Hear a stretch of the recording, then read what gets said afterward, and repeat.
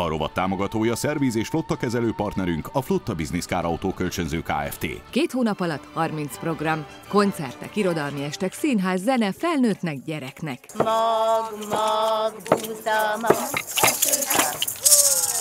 Én nagyon szeretem Gödöllőt, itt nőttem föl, nagyon sok művész él itt, tehát képzőművészektől kezdve énekesek, költők, írók, színészek mindenféle mennyiségben. Gödöllőn ugyanis nagyon erős a minőségi civil kultúra. A kulturális műhelyek kitermelik a kultúra értő közönséget, akik egyébként az életben mással foglalkoznak, van rendes civil foglalkozásuk, és a szabad ideikből áldozott nagyon sokat arra, hogy magas színvonalon üzzék azt, amit nagyon szeretnek.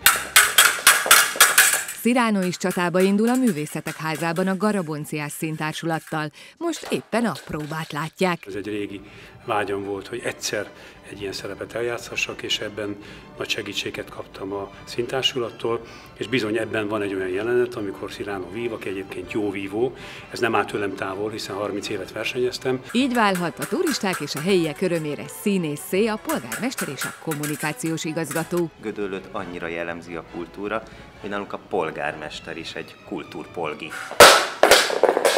Látom, már itt van egy kis Igen, szem. mert az egy harctéri sérülés. Nem én voltam. Nem én voltam. Veletem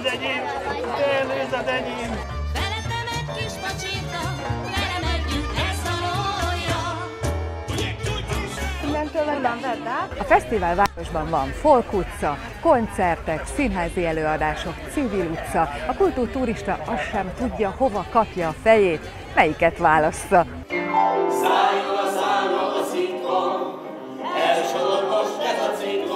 A budapesti játékszín Rejtőjenő Szőkeciklon című darabján hahotázik a színház turista közönség.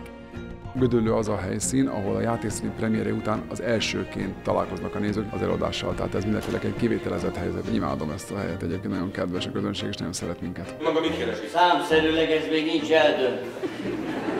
Az évad minden egyes darabja itt debütál a fővárosi premier után, úgyhogy a múlt emlékeit kedvelő Csonka András is körbenéz majd például Sziszi királyné és férje Gödöllői kastélyában. Felséges urak, kérem, vegye át a Gödöllői kastély kulcsát. Szirmot szól elé.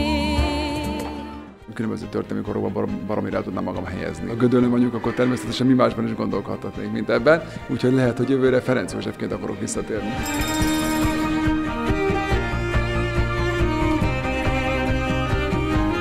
Nagyon-nagyon komoly minőségi kultúráit igényes közönség. Van azért egy hagyomány is, hiszen csak Gödöllő volt a szecesszió bölcsője. Eddig leginkább a kastély miatt érkeztek Gödöllőre. Azt hiszem, hogy egyre nevezetesebb vagy híresebb Gödöllő a kulturális életéről. Támogatunk a Flotta Business Car Autó Kölcsönző Kft. az autóval kapcsolatos ügyintézés.